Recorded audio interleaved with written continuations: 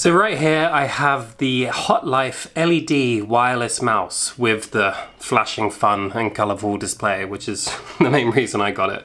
I'm going to show you some of its features just now, and I'm going to show you how it works with my Mac. Now it's meant to be compatible with any device, and so far I've found it is. I tested it on my laptop and Mac, and it works fine with both. Now one of the cool things is you just switch it on the bottom, and then that's how you get the flashing display and you can see it flashes like that. I'm now, actually it feels really nice. You see it, it fits my hand very easily, it's quite natural, but rather than just me clicking up here, I'm gonna show you how it connects to my Mac and how it works. Okay, so underneath here you have the USB, which just pops out like that, nice and easy.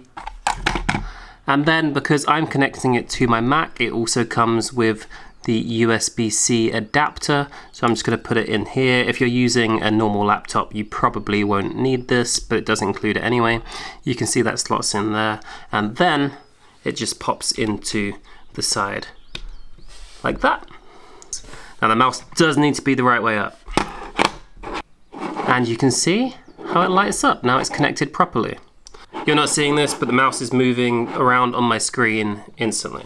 Now there are two extra buttons. You see you have the wheel here, but there are also M and DPI. Now M takes you back to the des desktop wherever you are, and then DPI you can adjust the sensitivity settings of your mouse. It also comes with the charging cable. Now, it is a rechargeable battery, so a charge of two hours will last you from eight to 10 days, making it ideal for me. It works straight out the box, and it also has a funky light up on the side. You can also turn off the lights if you don't want them because that does waste a little bit of battery, but I like it. It's cool. yeah, I hope that helps.